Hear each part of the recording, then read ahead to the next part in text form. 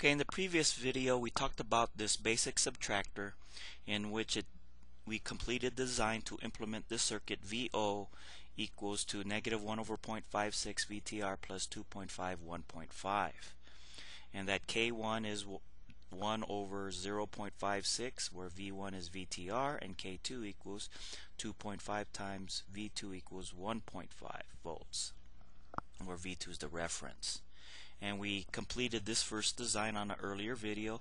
Now we're going to take a look at this second 2 op amp subtractor, our second design, and then later on we're going to compare it with the basic subtractor. So in essence what we have here is two non-inverting amplifiers.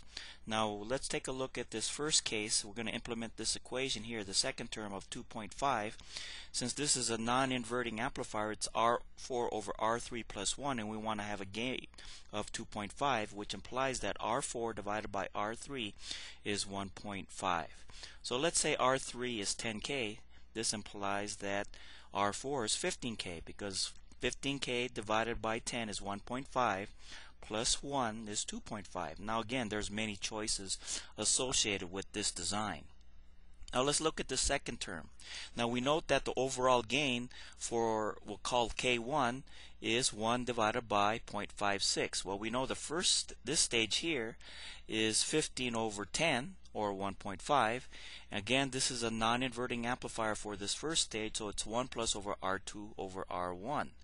So let's say R2 is 10k, well that implies that uh, R1 is 52.5k.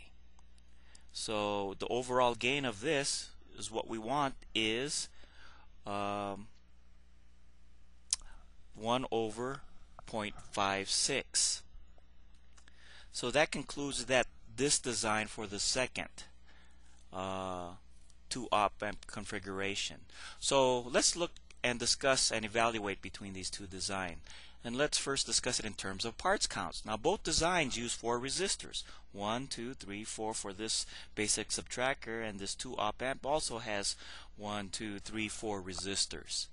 Now while the second design uses two op amps, the first one only uses one op amp. So this difference makes the first design the best choice under the smallest part count criteria. Now, however, the 2 op amp subtractor has both inputs applied directly to non-inverting op amp inputs. Now, why is this important? Well, these inputs have very high input resistances. Now, that means that the second design does not load the transducer or drain energy from the 1.5 volt battery. Now, this difference could be an important advantage of the second design if the transducer has a high Thevenin resistance or the interface circuit must operate for extended periods of time without servicing the battery. And that concludes the discussion for this transducer interface design.